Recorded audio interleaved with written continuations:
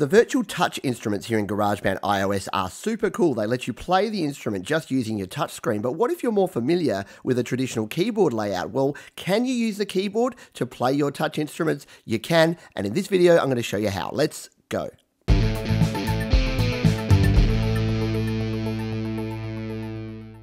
Hi, my name is Pete, and this is Studio Live today, where I help you create, record, and release your best music. And if you've used GarageBand on your iPhone or your iPad, you're probably familiar with our very cool touch instruments. So we've got strings, guitars, bass, and a bunch of world instruments that we can use just by touching the screen. So if I want to play a G chord, I can swipe on the screen. And if I go over into notes mode,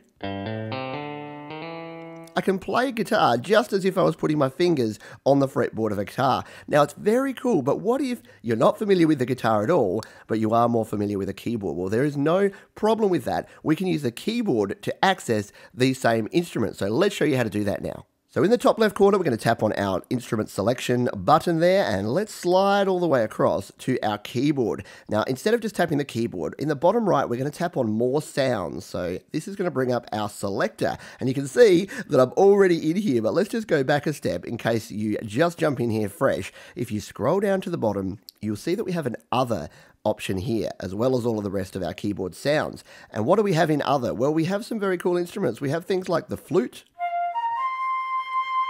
and clarinets and a whole bunch of others that we can actually use there that aren't available anywhere else. So there's an additional tip for you. But you'll also notice that we have strings. So we have pizzicato, staccato, and sustain strings. So they're just mean, so pizzicato is like your your plucked strings, staccato is a shorter string sound, and then your sustain is going to sound like that. So you can choose those.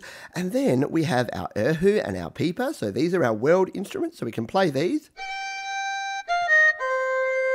We can play these ones right here as well. And then we have all of our guitars. So we can play our, our, acoustic, our classic clean, or our hard rock guitars. Let's just choose hard rock and play a bit of a guitar solo. So if you, you, I wouldn't be able to play that on a guitar. Well, I may, but it, it, I would struggle with it. But I can play it using the keyboard. And we can do the same thing if we grab an acoustic guitar. We're going to play a guitar chord. We can just... We can play those just using the keyboard, so it's really convenient if you know how to use a keyboard, but you're perhaps not as familiar with the guitar. The same with the bass, and I use this, so let's grab the P bass. I use this to actually lay down my bass lines a lot more often because it's a lot simpler if you're, you're creating a bass line rather than actually being in the real bass. So if I want to go... And again, I'm not a great bass player, so I can actually play a lot better if I'm using the keyboard here. So that is a really super cool option. And we even have our upright and our guzheng and our koto. So we've got a heap of options in here and we can use all of those touch instruments can be reselected here in our keyboard instruments and it can make it a heck of a lot easier to play our songs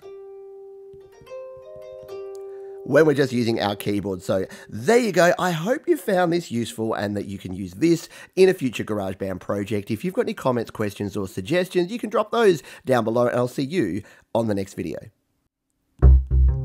Hey, thanks for sticking around. If you'd like to check out any more videos, we've got two linked down below. You can also subscribe to the channel by clicking or tapping on the Studio Live Today icon in the top right corner. And man, this is much too hard to play and talk at the same time. Cheers.